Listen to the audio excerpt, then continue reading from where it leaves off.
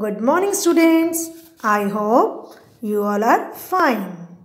This is your math class.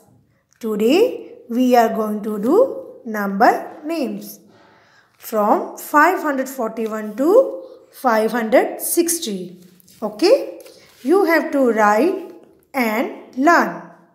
First of all, mention date, classwork and heading. Number names from 541 to 560 in the sequence. Okay, as shown, I had done first and last for you. Okay, students. Now complete these pages. Today we will do table of 13 also. Table of 13. 13 ones are 13.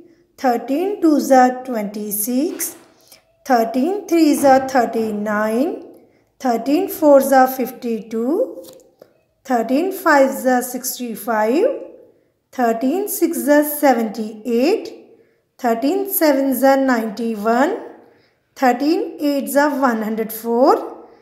13 nines are 117 and 13 tens of 130. You have to write number names and table of 13 in your maths notebook. Work should be neat and clean. Thank you.